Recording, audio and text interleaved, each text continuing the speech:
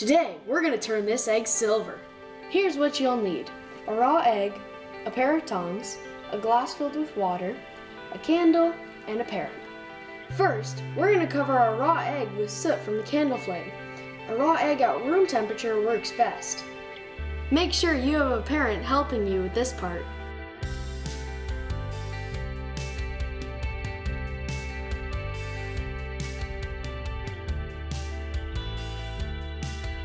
Now that our egg is covered in soot, we're going to gently place it in the cup filled with water.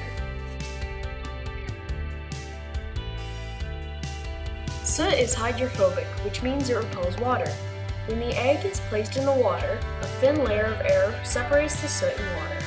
When light hits it, it is reflected back in all directions, making it appear silver. Even though the egg appears silver,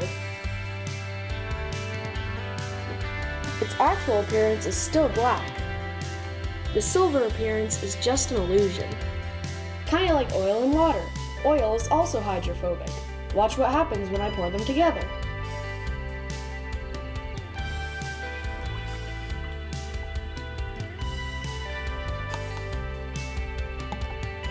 The oil molecules are repelled by the water, and because it's less dense, the oil floats to the top.